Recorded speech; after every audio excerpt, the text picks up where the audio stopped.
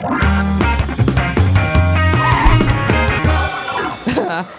used to work in the office. I got really good at like fake liking girls. I got good at that, you know. Just come in every day like, hey Kathy, how's it going? Sure. Hope you choke on that fork, bitch. Hated every goddamn one of them. They started it.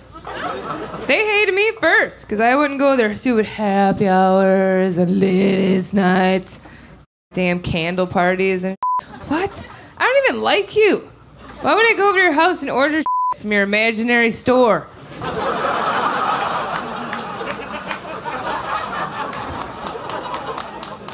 Get a job.